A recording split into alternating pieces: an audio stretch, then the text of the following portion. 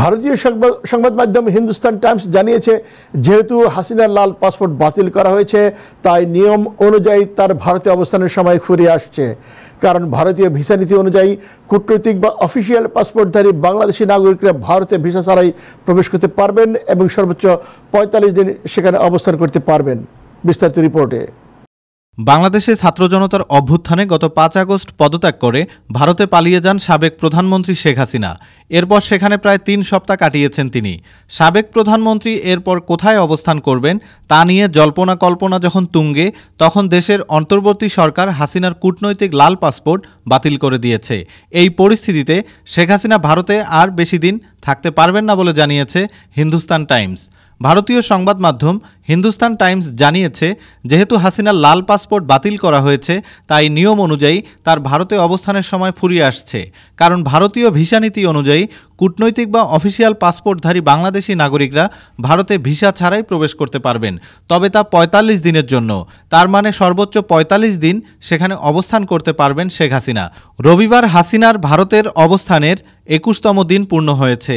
এই হিসেবে আইনগতভাবে তার ভারতে থাকার সময় ফুরিয়ে আসছে।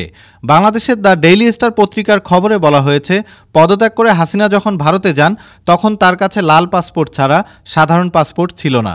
এর আগে বাংলাদেশের স্বরাষ্ট্র মন্ত্রণালয়ের নিরাপত্তা সেবা বিভাগ শেখ হাসিনা তার উপদেষ্টা, সাবেক মন্ত্রিপরিষদ সদস্য এবং সদ্য বিলুপ্ত দ্বাদশ জাতীয় সংসদের সব সদস্য এবং তাদের স্ত্রীদের কূটনৈতিক পাসপোর্ট বাতিল করে। গত বৃহস্পতিবার এই সংক্রান্ত প্রজ্ঞাপন জারি করা হয়। তাদের মধ্যে যারা সাধারণ পাসপোর্টের জন্য আবেদন করবেন, অন্তত দুটি তদন্ত সংস্থার প্রতিবেদনের ভিত্তিতে তাদের পাসপোর্ট দেয়া হতে পারে। হিন্দুস্তান টাইমসের খবরে আরও বলা হয়েছে, কূটনৈতিক পাসপোর্ট বাতিল হওয়ায় শেখ হাসিনার ভারত থেকে বাংলাদেশে প্রত্যর্পণের ঝুঁকি বেড়ে গেছে। হাসিনার বিরুদ্ধে এখন পর্যন্ত একান্নটি মামলা করা হয়েছে, যার মধ্যে বেয়াল্লিশটি হত্যা মামলা। এসব মামলায় তার বিরুদ্ধে বিচার শুরু হতে পারে। হাসিনার প্রত্যর্পণ বাংলাদেশ ও ভারতের মধ্যে দুই হাজার তেরো সালের প্রত্যর্পণ চুক্তির আইনি কাঠামোর আওতায় পড়বে, যা দুই হাজার ষোলো সালে সংশোধিত হয়েছিল। এতে বলা হয় কারও বিরুদ্ধে করা অভিযোগ যদি রাজনৈতিক বিবেচনায় হয়, তবে তাকে প্রত্যর্পণ বা ফেরত নিতে অস্বীকৃতি জানানো যাবে। কিন্তু হত্যা মামলার মতো অভিযোগ থাকলে তা রাজনৈতিক বিবেচনার আওতায় পড়বে না। তবে আরেকটি কারণে প্রত্যর্পণ বা ফেরত দিতে অস্বীকার করা যেতে পারে। তা যদি ন্যায় বিচারের স্বার্থে ও সরল বিশ্বাসে করা না হয়।